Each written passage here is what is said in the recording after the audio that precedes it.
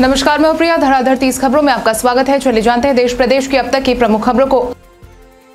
ज्ञान वापे विवाद के बीच देश में कई जगहों पर मस्जिद या दरगाह में मंदिर के निशान होने के दावे किए जा रहे हैं। ज्ञान वापे परिसर में किए गए सर्वे की रिपोर्ट में भी कहा गया है कि मस्जिद के अंदर हिंदू धर्म से संबंधित काफ़ी निशान पाए गए हैं। अब इस मामले में महबूबा मुफ्ती ने कहा है कि ऐसा करके केवल मुसलमानों को भड़काया जा रहा है और उन्हें रिएक्ट करने पर मजबूर किया जा रहा है ताकि गुजरात और यूपी जैसी घटना को दोहराया जा सके। अमेरिकी राष्ट्रपति जो बाइडेन ने जापान के टोक्यो में सोमवार को एक संवाददाता सम्मेलन में कहा कि अगर चीन ने ताइवान पर हमला किया तो अमेरिका सैन्य तरीके से जवाब देगा। हमने ये वादा किया है। बता दें कि प्रधानमंत्री नरेंद्र मोदी भी आज तड़के सुबह दो दिवसीय यात्रा पर जापान पहुँचे। पीएम मोदी आज टोक्यो में एक कार्यक्रम में शामिल होते देखे गए जहाँ अमेरिकी राष्ट्रपति जो बाइडेन अपनी महत्वाकांक्षी हिंद प्रशांत आर्थिक रूपरेखा का शुभारंभ भी उन्होंने किया। सुप्रीम कोर्ट ने सोमवार को अल इस्लाम टूर कॉरपोरेशन द्वारा दायर उस याचिका पर विचार करने से इनकार कर दिया, जिसमें साल 2022 में हज के लिए निजी टूर ऑपरेटर के रूप में विचार करने की मांग की गई थी। जस्टिस अब्दुल नजीर और नरसिम्हा की पीठ ने अल इस्लाम टूर कॉरपोरेशन की याचिका पर विचार करने से इनकार कर दिया है। इसके बाद याचिकाकर्ता ने अपनी याचिका वापस लेने की मांग को और संबंधित उच्च न्यायालय में जाने की स्वतंत्रता मांगी है। भाजपा नेता और वकील अश्विनी उपाध्याय ने सुप्रीम कोर्ट में याचिका दाखिल कर ज्ञानवापी केस में खुद को पक्षकार बनाने की मांग की है। इसके साथ ही उन्होंने कहा कि उन्नीस सौ इक्यानवे में बना पैलेसेज ऑफ़ वर्शिप एक्ट मस्जिदों पर लागू नहीं होता। उन्होंने कहा है कि ये मामला सीधे तौर पर उनकी धार्मिक स्वतंत्रता के अधिकार से जुड़ा है। सदियों से वहाँ भगवान आदि विश्वेश्वर की पूजा होती रही है। ये संपत्ति हमेशा से उनकी रही है। वकील उपाध्याय ने कहा है कि किसी भी स्थिति में संपत्ति से उनका अधिकार नहीं छीना जा सकता। पाकिस्तान की खुफिया एजेंसी इंटर सर्विसेज़ इंटेलिजेंस की तरफ़ से भारत के खिलाफ नई साजिश रचने के संकेत मिले हैं। खबर है कि आईएसआई पंजाब और आसपास के राज्यों में रेल नेटवर्क को निशाना बनाने की साजिश कर रही है। हाल ही में पंजाब के मोहाली में पुलिस कार्यालय में रॉकेट प्रोपेल्ड ग्रेनेड से भी हमला भी हुआ था। हालाँकि उस दौरान कोई हताहत नहीं हुआ, लेकिन इमारत को नुकसान ज़रूर हुआ था। दिल्ली के इंदिरा गांधी अंतर्राष्ट्रीय हवाई अड्डे पर सोमवार सुबह करीब साढ़े छह बजे से उड़ानों का संचालन प्रभावित हुआ। तेज हवाओं और आंधी के बीच हुई बारिश के चलते उड़ानों को नजदीकी हवाई अड्डों की तरफ़ मोड़ दिया गया। लगभग छह बज के छप्पन मिनट पर हवा की गति पचहत्तर किलोमीटर घंटे तक पहुँच गई थी, जिसमें विमानों को उतारना मुश्किल हो गया था। इन कारणों को देखते हुए लगभग सौ उड़ाने सुबह छह से दस बजे के बीच देरी से आई। अमेरिकी राष्ट्रपति जो बाइडेन ने इंडो पैसिफिक इकोनॉमिक फ्रेमवर्क को लॉन्च करने का ऐलान किया है। इससे जुड़ा एक इवेंट आज क्वाड समिट से पहले जापान की राजधानी टोक्यो में होने वाला था।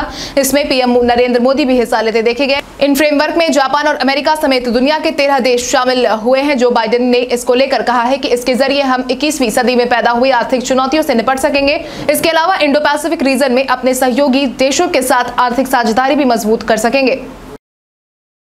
दिल्ली एनसीआर और आसपास के इलाके में सोमवार सुबह झमाझम बारिश के साथ ही तेज हवाएँ भी चली। हवाएँ सुबह करीब सात बजे लगभग पचहत्तर किलोमीटर प्रति घंटे की रफ्तार से चली, जिससे राजधानी के कुछ हिस्सों में उड़ानें भी बाधित हुई और सड़कों पर जल भराव भी हो गया। दिल्ली हवाई अड्डे के सूत्रों ने बताया है कि आंधी और बारिश के चलते कम से कम उन्नीस उड़ानों को जयपुर, लखनऊ, इंदौर, अमृतसर और मुंबई के लिए डाइवर्ट किया गया है।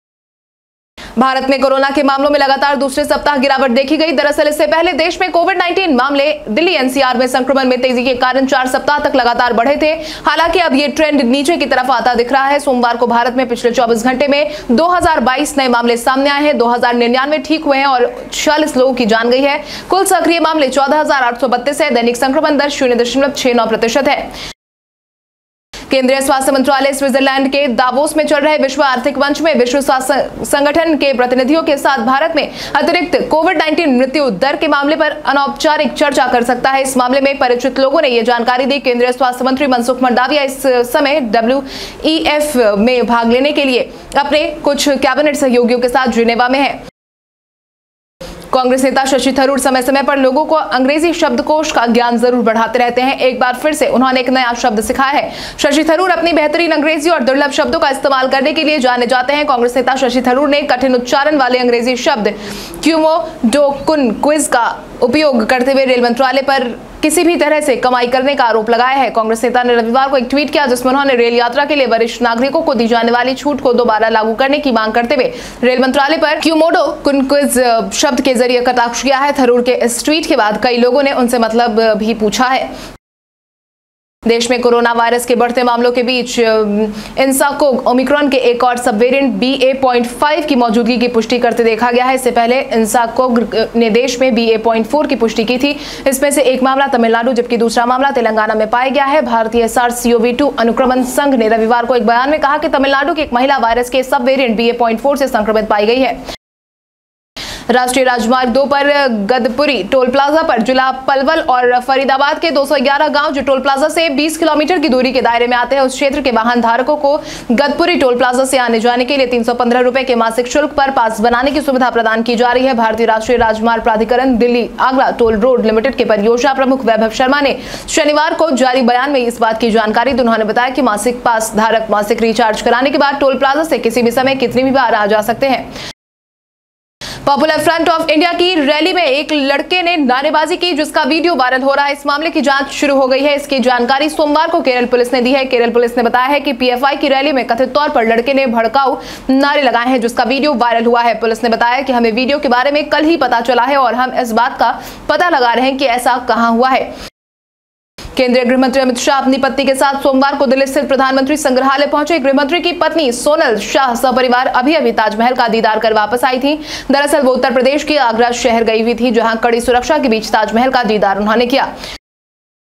आईएएस अधिकारी पूजा सिंघल पर भ्रष्टाचार के आरोप लगने के बाद भ्रष्ट आचरण का मामला सामने आया है और सुर्खियों में है। वैसे भ्रष्टाचार कोई नई घटना नहीं है। कारण ये भी है कि भ्रष्टाचार किसी व्यक्ति के व्यवहार में वो विचलन है जो उसे सार्वजनिक वस्तुओं का व्यक्तिगत लाभ लेने के लिए प्रेरित करता है। सिविल सेवा को स्टील प्रेम सेवा माना जाता है और ये औपनिवेशक काल की विरासत है।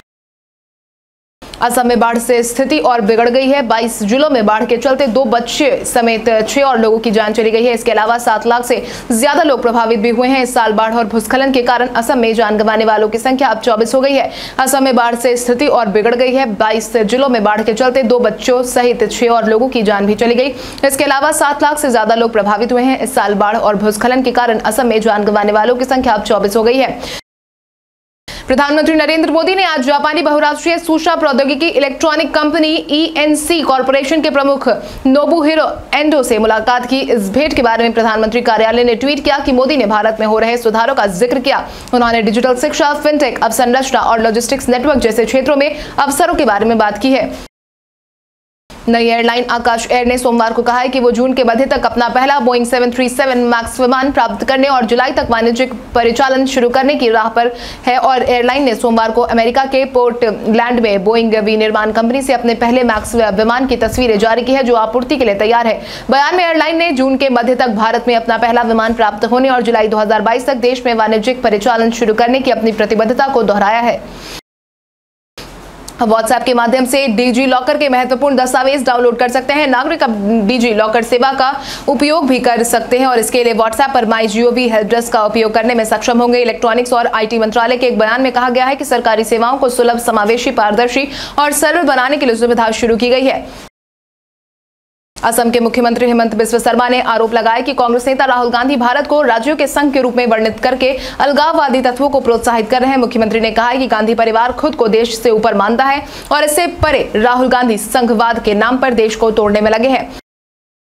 इस बार इंजीनियरिंग संस्थानों में एडमिशन लेने के लिए होने वाली संयुक्त प्रवेश परीक्षा अब विश्व स्तर पर होने जा रही है। केंद्र सरकार ने अमेरिका से वियतनाम तक एक साथ पच्चीस देशों में परीक्षा आयोजित करने की योजना बनाई है। इससे पहले भारत सरकार के सहयोग से आईआईटी जेईई परीक्षा बारह देश में आयोजित की गई थी। कौआ लालनपुर और लागोस में इन परीक्षाओं को पहले साल आयोजित किया गया था। अमरनाथ यात्रा शुरू होने से पहले आतंकी संगठन की तरफ़ से धमकी दी गई थी। आतंकी संगठन टीआरएफ की धमकी भरा पत्र ऐसे वक्त में सामने आया जब 30 जून से अमरनाथ यात्रा शुरू होने जा रही है। टीआरएफ की तरफ़ से धमकी भरा पत्र जारी करते हुए इस बार राष्ट्रीय स्वयंसेवक संघ और केंद्र सरकार पर निशाना साधा गया है।